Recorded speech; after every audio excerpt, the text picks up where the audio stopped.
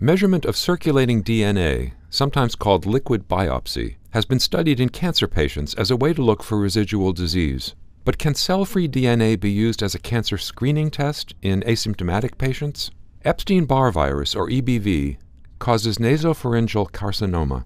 Investigators in Hong Kong screened 20,174 Chinese men 40 to 62 years old and found detectable plasma EBV DNA in 1,112 of them, 5.5% of the total screened population.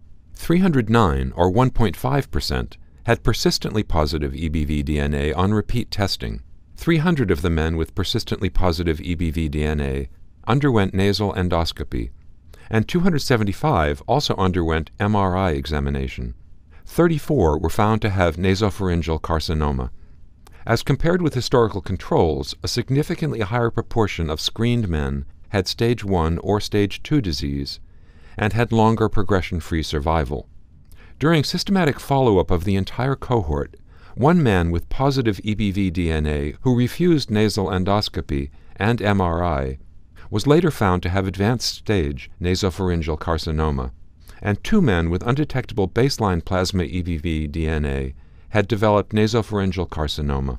On the basis of this study, plasma EBV DNA has a sensitivity of 97.1% and a specificity of 98.6% for detecting nasopharyngeal carcinoma. The investigators conclude that plasma EBV DNA was useful in screening a population at risk for nasopharyngeal carcinoma. Full study results are available at nejm.org.